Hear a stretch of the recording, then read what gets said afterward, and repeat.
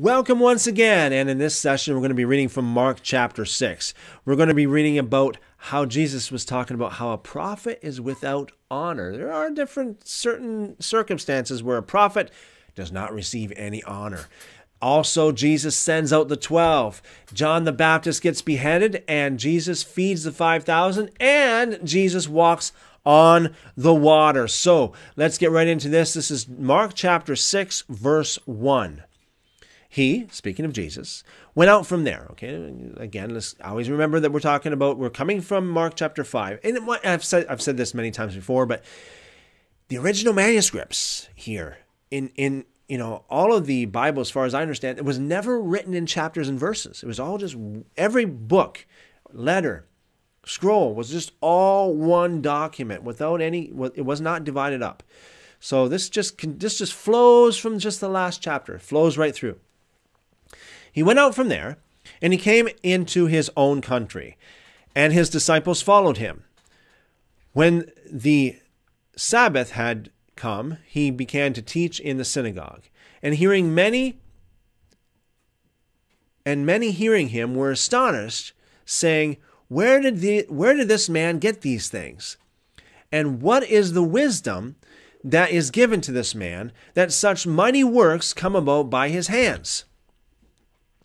Isn't this the carpenter, the son of Mary, and the brother of James, Joses, Judah, and Simon? So in the Hebrew, uh, the, the actual literal Hebrew names would be Yaakov, Yoshe, Yehuda, and Shimon.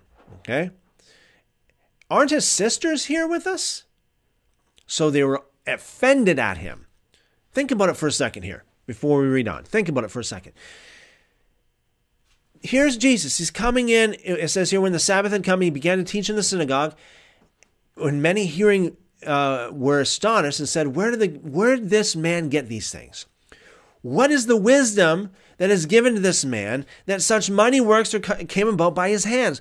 Why? How did he know this stuff? How did he have so much power to do all these miracles? You know, don't we saw him growing up as a little child. We know him. We know his family. Like we know he's not some mighty, you know, celebrity or god or whatever. That's the way they're thinking, okay? Isn't this the carpenter, the son of Miriam, the brother of Yaakov, Yoshe, um, Yehuda and Shimon aren't his sisters here with us? Like they're he's just one of us, isn't he? So they were offended at him. Isn't it amazing how people can get offended at you if you are better than them? I mean, it just if you're jealous, you are proving to the world that you are inferior. Verse 4 Jesus said to them, A prophet is not without honor except in his own country and among his own relatives and in his own house. They, I guess they call it the sin of, and today, they call it the sin of familiarity. Verse 5. He could, do mo- he could do no mighty work there except that he lay his hands on a few sick people and healed them. He marveled because of their unbelief. He went around the villages teaching. This is his thing. He wants to teach he called to himself the twelve and began to send them out two by two. And he gave them authority over the unclean spirits. He commanded them that they should take nothing for their journey except for a staff, take no bread, no wallet, no money in their purse, but to wear sandals uh, and to put on two tunics. Why is this? Because you see, in those days, people would go from house to house, you know, and they would, or from village to village, that they would find a place to, to, uh, to stay, in that place that when they stayed there, they would work for those people, doing whatever. I mean, work in the field, work, you know, whatever they would have to do, whatever they would do, work for those people, and and the people they were staying with would feed them and clothe them because of you know as an appreciation for the work that they did. So this was their work. That's why Jesus said, don't take anything, you know, don't take your staff, your bread, wallet, money, all this kind of stuff because you don't need it. You're going to be going from house, you know, from this house over here in this city to that house over here in that city, from this house over here in this city to, you know, into that house over there in that city. And you're going to be staying at those house, houses. You're going to be working for those families. You're going to be serving them. You're going to be doing what needs to be done uh, for them. And, uh, and they're going to be blessing you. Okay. And you need to work for your living. Okay. This is what Jesus said basically.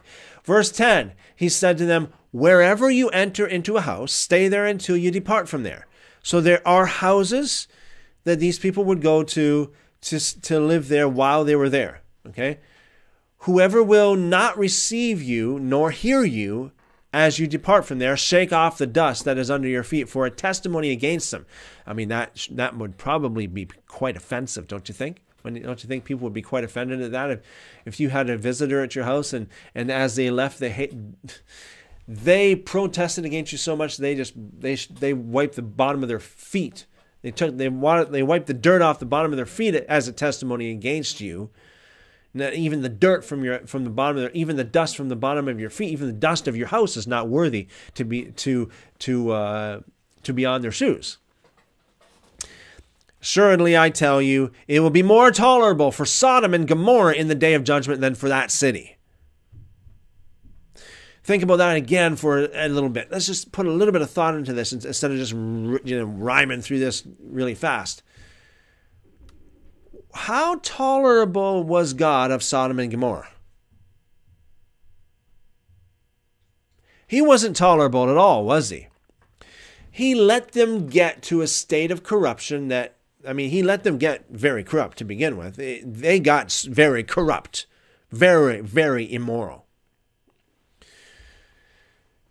And God, you know, because of the prayers of the people, uh, God uh, answered those prayers. I mean, listen, you want to know who to be afraid of? Be afraid of the people that you don't like so much, the people that are telling you to repent, the people that are really good with God, that are godly people, that are righteous people. Be afraid of them. Why? Because God hears their prayers. If God pray, if if if they pray to God against you because of your immorality, you think that it's just love. You think that it's just normal.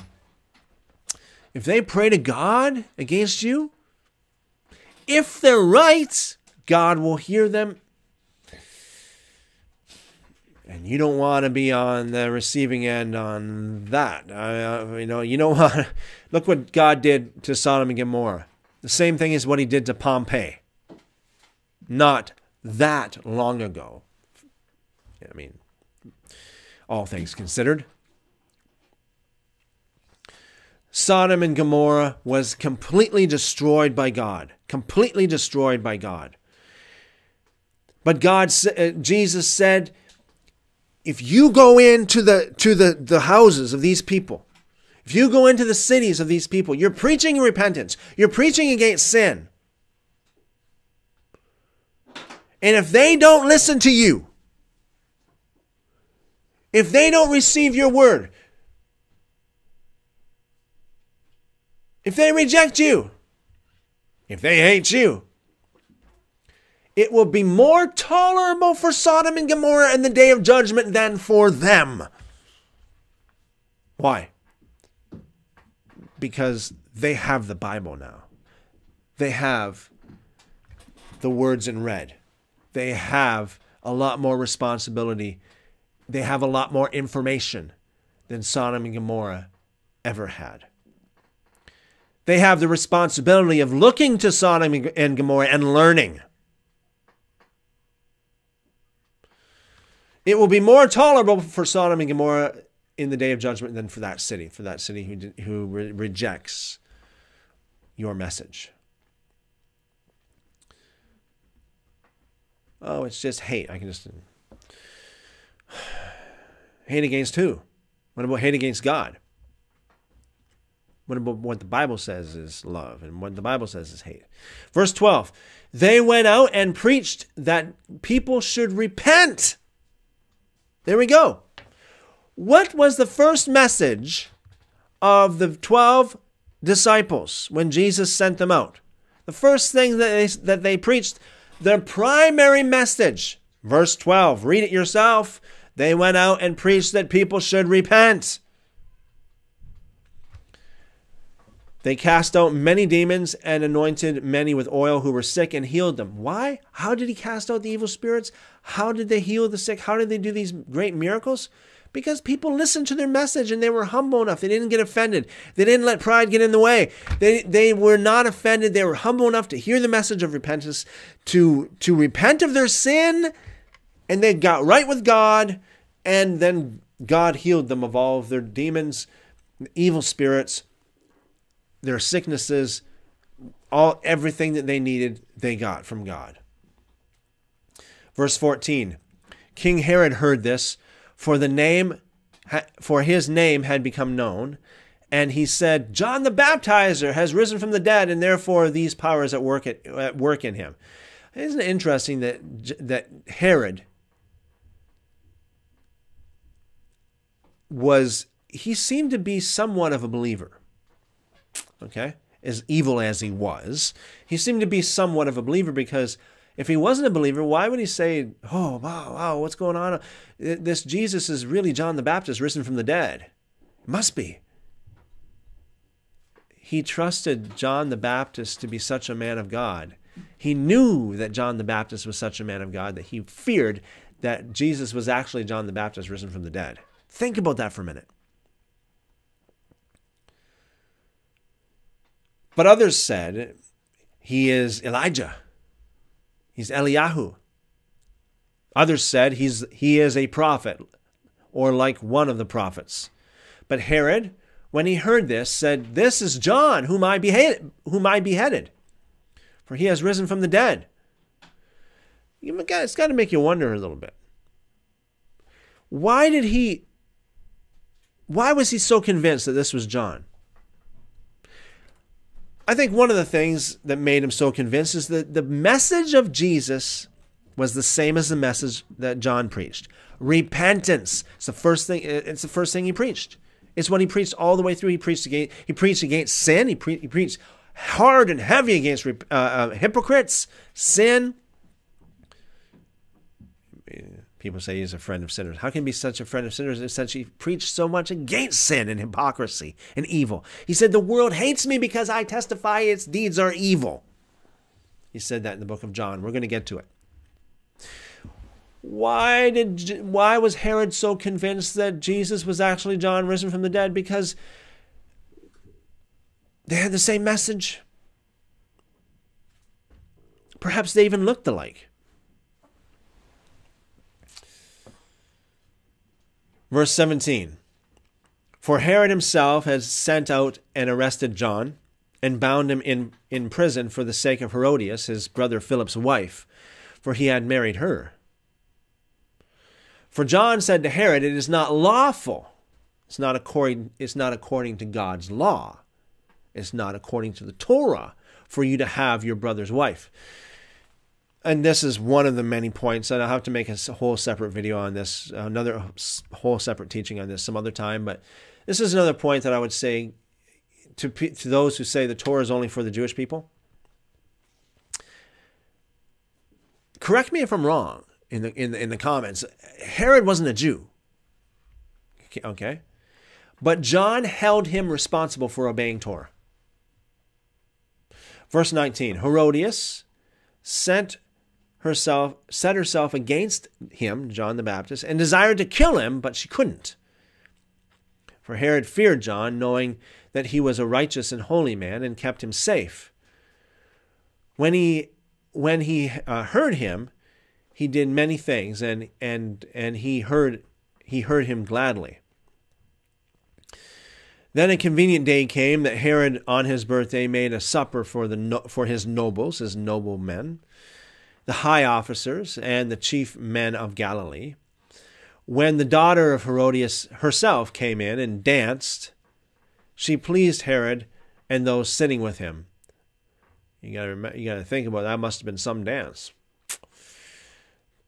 The king said to the, to the young lady, Ask me whatever you want, and I'll give it to you. He swore to her, Whatever you ask of me, I will give you up to half of my kingdom. She went out and said to her mother, What shall I ask? She said, The head of John the Baptizer. She came in immediately with haste to the king, ran in, ran in fast, and said, I want you to give me right now the head of John the Baptizer on a platter. That's some woman, isn't it? The king was exceedingly sorry because he knew John the Baptist was a righteous man. There was nothing wrong with him. He knew that John the Baptist was a holy man. But for the sake of his oaths and of his dinner guests, he wanted to look good for everybody. He didn't wish to refuse her. Immediately the king sent out a soldier of his guard and commanded to bring John's head. And he went and beheaded him in the prison, and brought his head on a platter, and gave it to the young lady, and the young lady gave it to her mother. When his disciples heard this, they came and took up his corpse, his body, and laid it into a tomb. The apostles gathered themselves together to Jesus, and they told him all, all things whatever they had done and whatever they had taught. He said to them, You come apart into a deserted place and rest a while. For there were many coming and going, and they had no leisure so much so much as to eat. They went away into a, the boat to a deserted place by themselves. They, uh, the TR, the Textus Receptus manuscripts, reads the multitudes instead of they, saw them going, and, may, and many recognized him and ran there on foot from all the cities. They arrived before them and came together to him. Jesus came out, saw a great multitude, and had compassion on them, because they were like sheep without a shepherd. And he began to teach them many things. When it was late in the day, his disciples came to him and said, This place is deserted, and it is late in the day. We're out in the middle of nowhere, guys, it's late. Send them away. That that uh, that they may go into the surrounding country and villages and buy themselves bread, and for they have nothing to eat. But Jesus said to them, "You give them something to eat." It reminds me of Moses on the edge of the Red Sea. You know, Moses is complaining to God, "Hey, the the the, the uh, Pharaoh's army is ganging up on us. They're surrounding us. You know, what are we?" And Jesus and Moses, um, the Lord said to Moses, "You stretch out your hand. You stretch out your hand and divide the sea." Why do you cry to me? Says the Lord. Why are you crying to me? You do it. Jesus said, pretty much, it's almost the same thing. You give them something to eat. And they asked him, Shall we go and buy 200 denarii? 200 denarii was about seven or eight months' wages for an agricultural laborer, it says here in the notes. Seven or eight months worth, uh, seven or eight months of you know salary wages worth of of bread and give them something to eat he said to them how many loaves do you have go see when they knew they said five and two fish. Five loaves of bread and two fish. He commanded them that everyone should sit down in groups on the green grass. They sat down in ranks by hundreds and by fifties. He took the five loaves and the two fish, and looking up to heaven, he blessed and broke the loaves and gave to his disciples and set before them, and he divided the, the two fish among them all. They all ate and were filled. They took up twelve basketfuls of broken pieces and also the two fish, and also of the fish. Those who ate the loaves were 5,000 men. Okay? This does not include women or children if they were there. Okay? You got to realize that in the numbers in the book, in, in the Bible, a lot of times the numbers we read here uh, is only counting the men. That was all count. You look at through the scriptures, it talks about so many thousand here, so many thousand there. It talked about the men, not the ladies or the children, just the men. Verse 45 Immediately he made his disciples get into the boat and go ahead to the other side, to Beth- Beth- Bethsaida, while he himself sent the multitude away. Uh, that's a little bit of a wouldn't it be a little bit of a downer, right, to have Jesus send you away. After he had taken leave of them, he went up to the mountain to pray. When evening had come, the boat was in the middle of the sea, and he alone was on the land. So all the disciples were in the boat in the sea, and he, he alone was on the land. Seeing them distressed in rowing, for the wind was contrary to them, about the fourth watch of the night, he came to them walking on the sea. It says here, see Job 9 8. So Job 9 8 says, He alone stretched, stretches out the heavens and treads on the waves of the sea. Isn't that interesting? And he would have passed by them. I notice that this is this is what happens sometimes. It's like Jesus is right there and he's walking and, and you think he's going to be with, with he's going to walk to the people, walk to his beloved disciples, but he's he would have passed by them. It's like on the road to Emmaus, you know, when Jesus was walking with them, and it seems like he's going to go on walking by, go, just go on away from them. He's like, they have to say, "No, Lord, come," or "No." It, actually, at that point in time, they didn't understand it was the Lord in the, on the road to Emmaus. Excuse me. And so they had to say, "No, no, don't go away, don't go away, come with us." Right. So he would have passed by them, but they, when they saw him walking on the sea, supposed that it was a ghost. So they knew about ghosts back then, and the, and the disciples knew about, and apparently they must have believed in ghosts or believed that there was such a thing, uh, and cried out, for they all saw him and were troubled. But he emo- immediately spoke with them and said to them, Cheer up! It is I. Now, in the original manuscripts, this is very, very important for you, for, for you to understand this. In the original manuscripts, it would say, I am. Cheer up. I am. Don't be afraid. For those of you who are kind of wondering, what is that? What do you mean by I am? You remember when Moses had the first encounter that he had with God at the burning bush? And he asked God, he said, God, what is your name? I need a name to go back to the children of Israel to tell them, you know, they would say, Who is the God that you were talking to? Who what's who what's his name? God, what's your name? What was the response? I am that I am. God said, Go tell them that I am has sent you. Jesus here is identifying himself as the same God who was in the burning bush. The God and the Lord of all creation, the God of Moses, the God of Abraham, the God of Isaac, and the God of Jacob. The God of David, the God of uh, Isaiah, the God of Jeremiah. The, the I am. They call him the great I am. Can you imagine the scene? There's a windstorm. They're struggling to. It's it's a windstorm. They're struggling to even keep the boat. I mean, uh, on the in the sea properly, rowing, rowing, rowing. Just they're struggling, and Jesus is just like walking on the sea, as if the wind didn't affect him at all. And they thought it was a ghost. No wonder they thought it was a ghost because they, they knew that ghosts were not affected by. I mean, you can't really blow a ghost away. You know what I mean? And they cried out, and, and, and they were all troubled. But immediately he spoke to them, and he said, Cheer up, or be of good cheer. I am. Don't be afraid.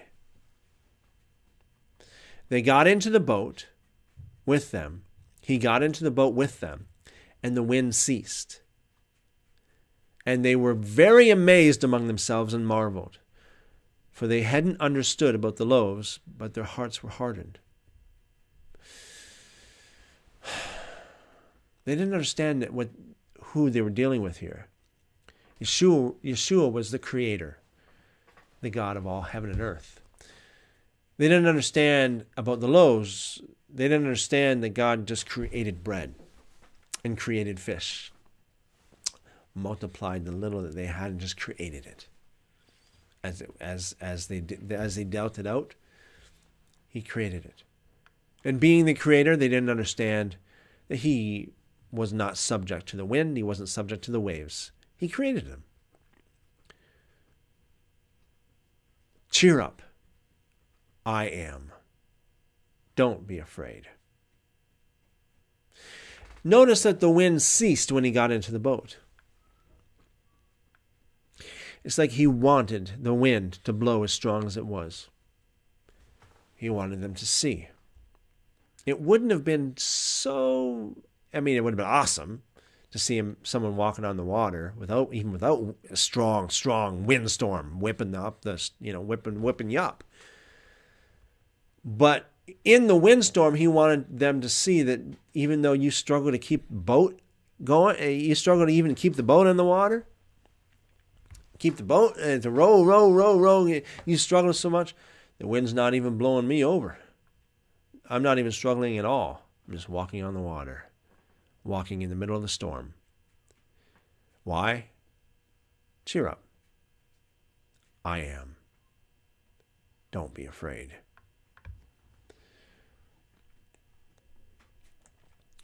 Verse 53 When they had crossed over, they came to, to land at Gennesaret and moored to the shore. When they had come out of the boat, immediately the people recognized him. Now, again, you notice that Yeshua, you notice that Jesus did these real powerful miracles like the transfiguration, the walking on the water. Not in front of all the, the, the multitude, not in front of the whole country only in front of his chosen few. You know, he's not. What should I, how am I going to put this? He does. He's not concerned. He doesn't want to show, to show off to people who don't believe. Atheists, he, you know, it's almost like he can care less whether or not they see a miracle. He doesn't even want them to see a miracle to believe. I mean, he knows that they wouldn't believe anyway if they saw a miracle. They would just write it off as something else. But he did these real powerful demonstrations of his glory and of his power, of his presence and being, of who he really was, only with the chosen few. And even today, only the chosen few really know who Jesus really is. Not everybody that goes to church. No. By far. By far not. But there is a chosen, chosen few, the remnant that God has saved for himself that really knows.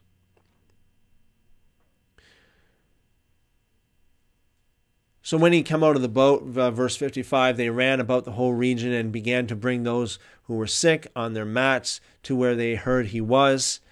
Wherever he entered into villages or into cities or into the country, they laid the sick into the marketplaces and begged him that they might touch the fringe, the tassel, the tzitzit. Look it up. Look it up. Look it up, friends.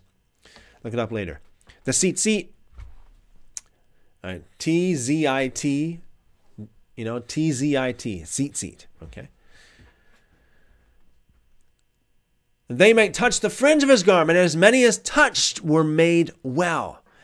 Touching that tzitzit is reaching your hand out to the Torah. It's a, it's a, the tzitzit was a symbol, was a, it served as a, a memorial. It served, it served to remind you to obey the commandments of God. So when they saw the tzitzit, they knew that reminds me of to obey the Torah and then to reach out and to actually touch it.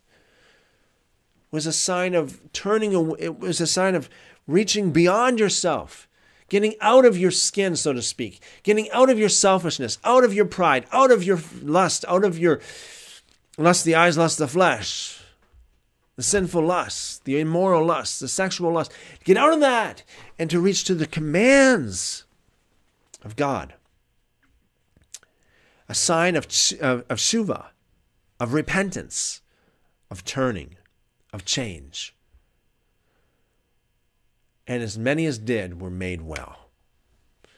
Those of you who are listening,